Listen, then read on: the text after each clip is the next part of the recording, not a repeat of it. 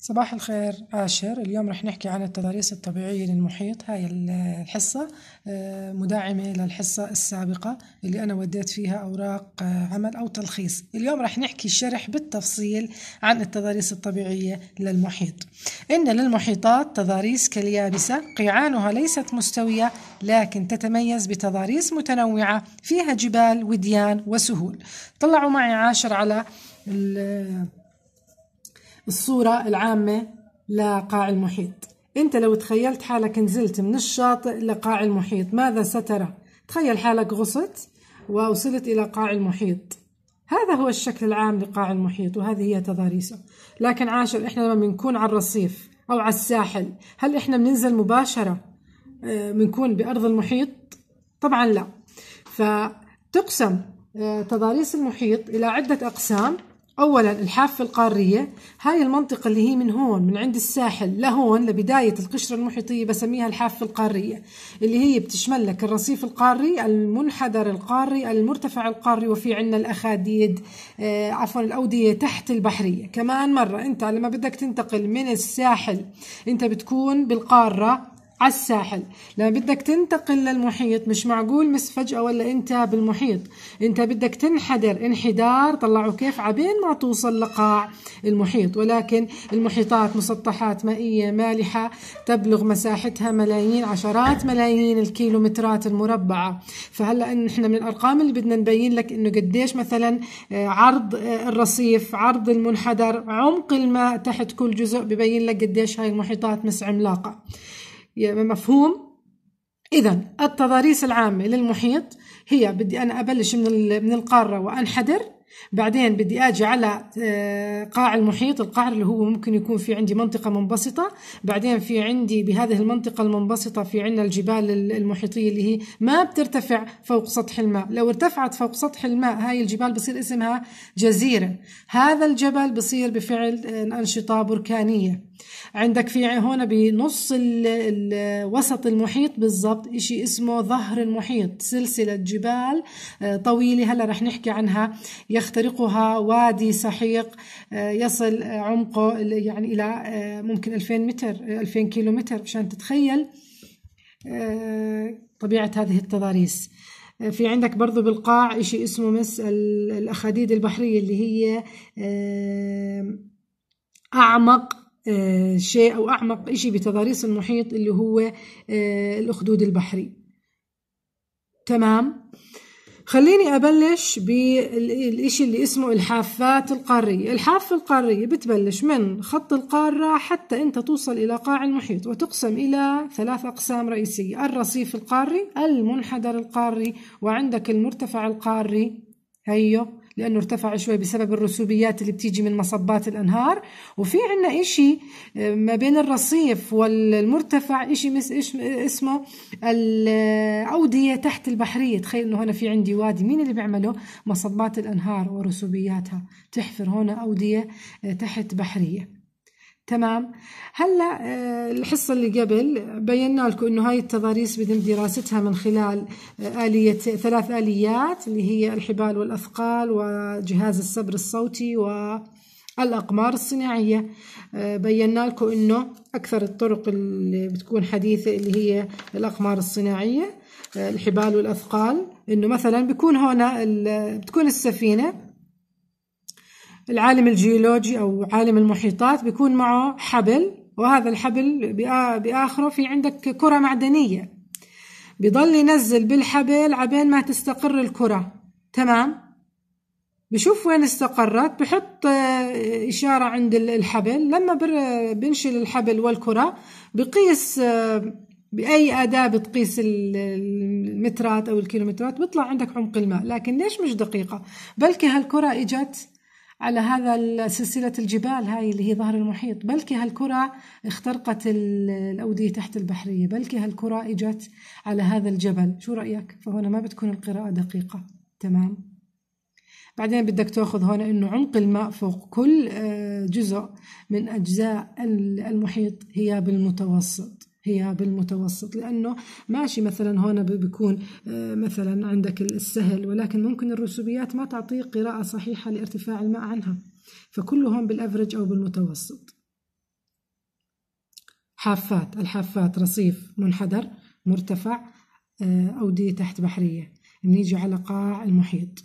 قاع المحيط هو المنطقة اللي بتبلش من عند آه، نهاية الحفة القارية وحد آه، ظهر المحيط. هذا هو القاع اللي ممكن يحتوي على إشي اسمه سهول اللج والجبال البحرية. سهول اللج اللي هي المناطق الأكثر انبساطا في قاع المحيط. منبسطة هيك. سهل سهل زي كف اليد. خلينا نبلش مثلا بطريقة آه، السبر الصوتي.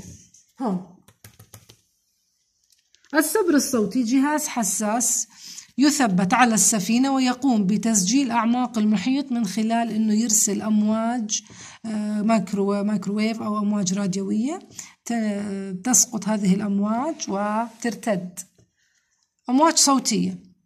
آه، لما بترتد هذه الأمواج اللي هو يعني الصدى بيتم استقباله بواسطة جهاز السبر الصوتي حساب زمن الذهاب والإياب لهذه الموجة الصوتية. وبمعرفة سرعة الصوت أمواج الصوت في الماء 1500 1500 متر لكل ثانية. من خلال قانون السرعة تساوي المسافة على الزمن بتم حساب المسافة اللي سافرتها الأمواج الصوتية ذهاب أو إياب اللي هي بيكون عمق المحيط. هلأ السرعة تساوي فا على زين معناته فا إيش بتساوي؟ عين ضرب زين صح؟ سرعة الأمواج الصوتية بالماء ثابتة 1500 متر لكل ثانية.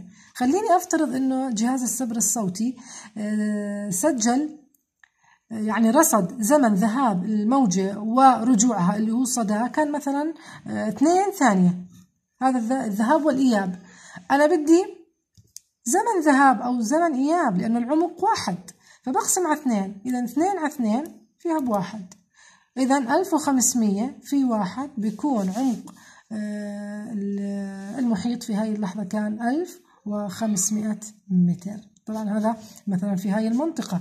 طب هي لو السفينة كانت هون برأيك بل بعطي قيمة ثانية طبعا لو السفينة كانت هون شو برأيك بده بده مثلا الموجة الصوتية تنزل إلى هذا الوادي السحيق اللي آه، يشق آه، سلسلة الجبال اللي هي في وسط المحيط؟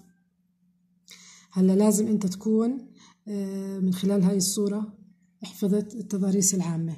حافات قارية هيها. من الساحل لأول بداية آه، قاع المحيط.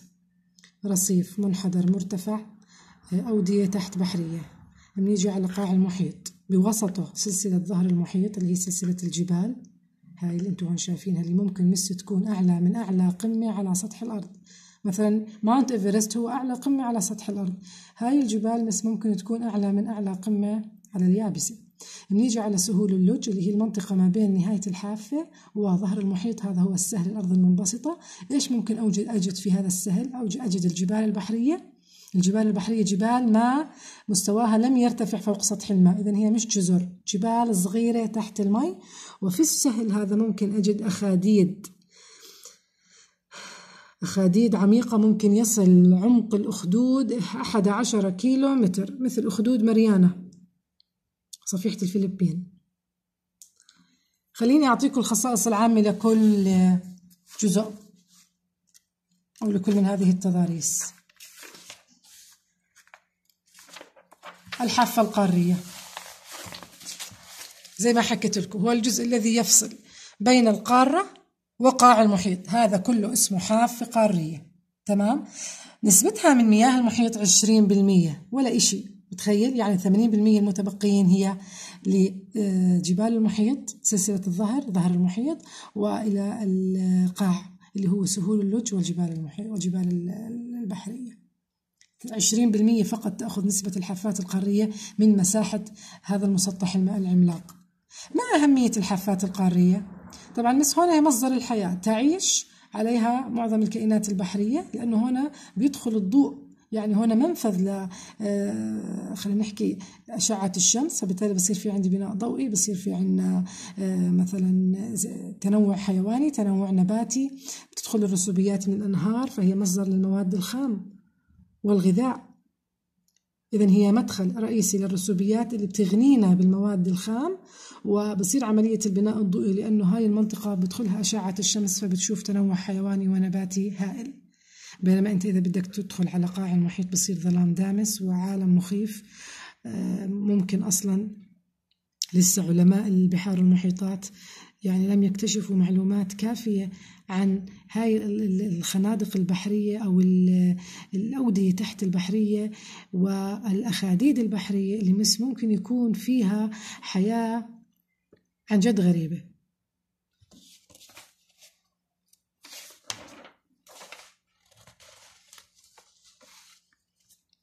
الحافة القارية زي ما حكيت لكم 20% من مساحة المحيط وهي مصدر الغذاء والمواد الخام والرسوبيات. طب الرصيف هذا أول جزء من الحافة اللي هو الرصيف. وإحنا بتعرف بنسوي له اسم تاني اللي هو الشلف اللي هو مثل الرف القاري. إذا هو جزء القارة المغمور تحت المي. يعني بدك تتخيل إنه كل الحافة القارية هي للقارة. الحافات القارية هي جزء القارة المغمور من مياه المحيط. هذا كله الحافة القارية من اليابسة. حتى آه، نصل لقاع المحيط حيث نجد السهول والجبال البحرية. هذا هو للقارة مثل الجزء. بس مغمور بالمياه. إذا الرصيف اللي هو أول جزء من الحافة القارية مغمور هو الجزء من القارة المغمور بالماء وفيه رسوبيات مكدسة فوق القشرة القارية ويمتد من خط الشاطئ حتى حافة الرصيف يعني حوالي 200 كيلومتر أنت بتحكي. وهون عمق الماء فيه حوالي 200 متر. شوفوا. إذا الرصيف عرضه من 100 إلى 200 كيلومتر عمق الماء فوقه 200 متر. وتعيش عليه 90% من الكائنات الحية. كمان مرة الرصيف القاري عرضه من 100 إلى 200 كله بالمتوسط لأنه الأرض مش مستوية. عمق الماء فوق الرصيف 200 متر.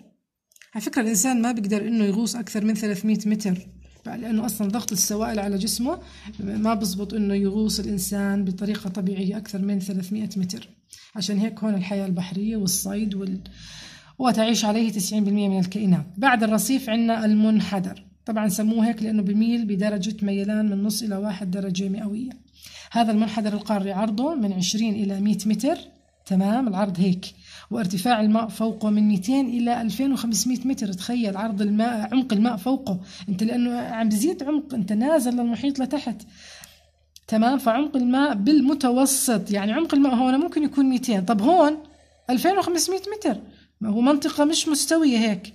نازلة نزول فبده يكون عمق الماء من بدايتها لنهايتها من 200 إلى 2500 متر عم تحكي عن 2 كيلو ونص. هنا آه، هاي المنطقة يعني فقط هي بتتغير فيها القشرة القارية إلى محيطية يعني كأنها بتصير محسوبة عن محيط الجزء الثالث من الحافة القارية اللي هو المرتفع القاري هي هو ارتفع بسبب الرسوبيات. هي شايفينها تكدس الرسوبيات. عرض هاي المنطقة 300 متر وعمق الماء فوقها من 2.5 كيلومتر إلى 4 كيلومتر لأنه إحنا خلاص اقتربنا تقريبا آه، صرنا يعني إذا أنت بتكون هون بكون خلص آه، فوق عمق الماء فوقك آه، اللي هو متوسط ارتفاع الماء فوق المحيطات حوالي 5000 متر أو 4500 متر. تمام؟ هنا هاي المنطقة بتتجمع فيها الرسوبيات اللي بتيجيك من اليابسة من خلال التيارات العكورة اللي بتعملها الأنهار العملاقة. ما هي كل الأنهار وبتصب بالبحار والبحار أيضا هي جزء من المحيطات. فبدك تتخيل يعني الصورة العامة.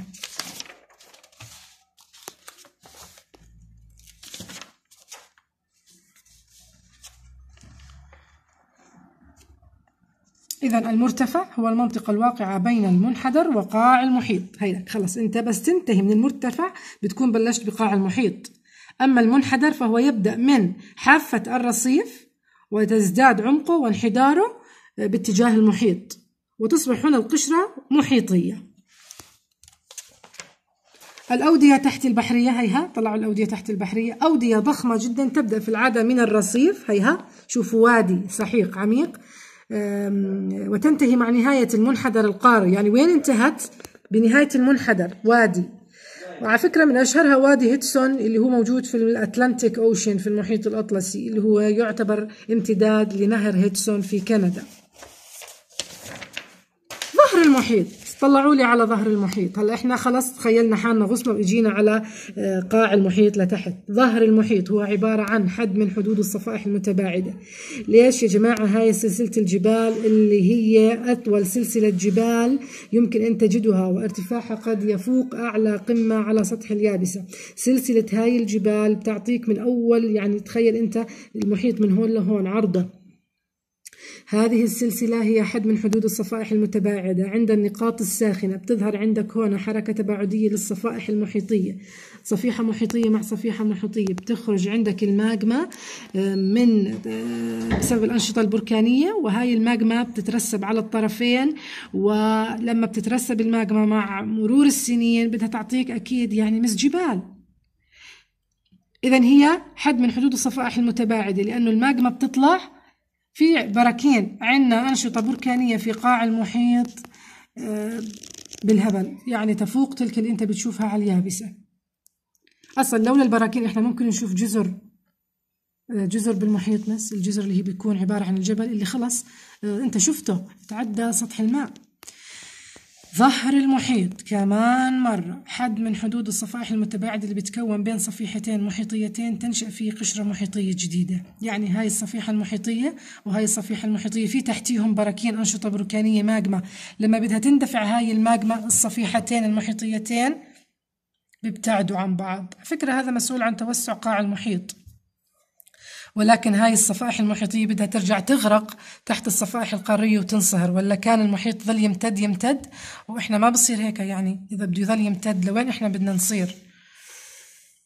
فهمتوا علي؟ كيف تتكون سلسلة الجبال اللي هي في نص في وسط المحيط؟ لذلك سميت بسلسلة جبال ظهر المحيط. ظهر المحيط على فكرة بيكون متعرج ومش متصل وممكن يكون في إزاحات جانبية وصدوع وبدك تعرف إنه فيه أودية خسفية عميقة بتمر داخل هذا المحيط من أوله لنهايته. سوري ظهر المحيط من أوله لنهايته. عرضه يتراوح ما بين 500 إلى 5000 متر وطوله 65 ألف كيلو متر وارتفاعه عن القاع أربعة كيلو متر ارتفاعه عن القاع أربعة كيلو متر الأخاديد البحرية الأخاديد البحرية اللي هي الترنش طلعوا. هذا الأخدود البحري. هي معالم مهمة في قاع المحيط تتميز بالطول الكبير والعرض الضيق طويلة. طويلة يعني من هون لهون بالطول. وعرضها آه، ضيق وهي أعمق مناطق قاع المحيط.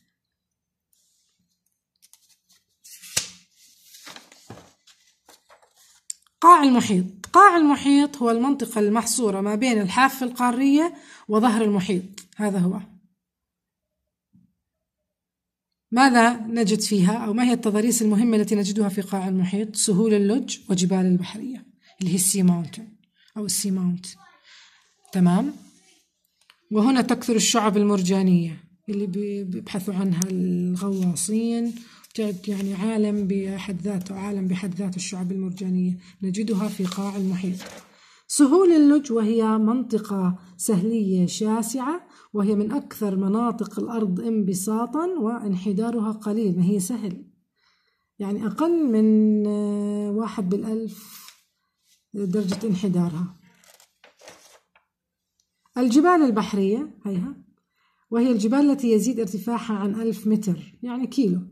عن مستوى قاع المحيط. هاي ما بتتعدى مستوى سطح الماء يعني مش جزيرة. وتوجد منفردة أو على شكل سلاسل. يعني بتشوف هنا ممكن هذا منفرد لوحده الجبل البحري أو ممكن يكون سلسلة جبال جنب بعضها. قد تتكون في منطقة ظهر المحيط بسبب النشاط البركاني الكثيف ثم تبدأ بالابتعاد. لاحظوا؟ يعني إلها علاقة. يعني ممكن النشاط البركاني صار وما صارت الماجما ترسبت لدرجة أنه توصل الجبل بمستوى ارتفاع جبال ظهر المحيط. عرفتوا علي؟ إذا هي إلها علاقة بالنشطة البركانية اللي بتصير في سلسلة ظهر المحيط. وتبدأ بالابتعاد عن منطقة الظهر كلما توسع توسع قاع المحيط. هاي سلسلة الجبال اللي انتو بتشوفوها اللي هي سلسلة جبال هاواي في المحيط الهادي. يعطيكم العافية.